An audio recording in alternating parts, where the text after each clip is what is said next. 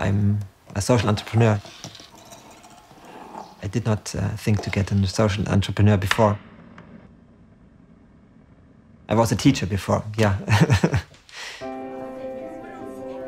I worked as a teacher for about 10 years, mathematics and physics. There was one day about uh, eight years ago that I complained to my wife there should be done more uh, to, to end poverty worldwide. And she said okay then then do something. Stop complaining. And that was the very day that I started to think about taking action myself.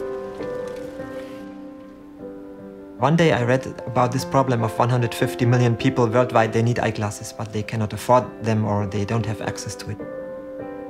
And this 150 million people, they have a loss of income annually of about 120 billion US dollar because they cannot go to school, they cannot work, they cannot feed uh, their, their families. I thought about how to, to make a system of eyeglasses. They must be affordable, strong and pretty that people like to, to wear them. In my heart, I'm an inventor, yes.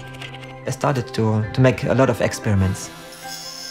I'm not an optician, but I started to look at a lot of patents and I looked in different optic shops and the internet and uh, made my investigations.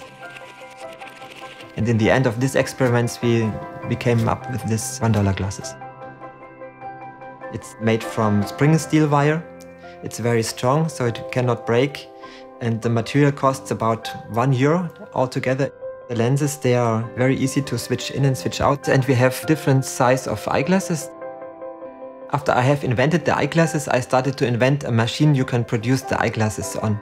Here in this box, we have a factory. We can produce about 20 to 50,000 pairs of eyeglasses a year with a team of five to seven people. When we go to a country, we first train the technicians how to produce the eyeglasses on the bending machines. Then we set up quality control that the eyeglasses are really German quality standard. We train the refractionists how to test the eyes, find the right lenses and just switch them into the frame. It's the first time in their life they have a, a normal income. They are very fast. A school with 1,000 pupils can be tested in one week.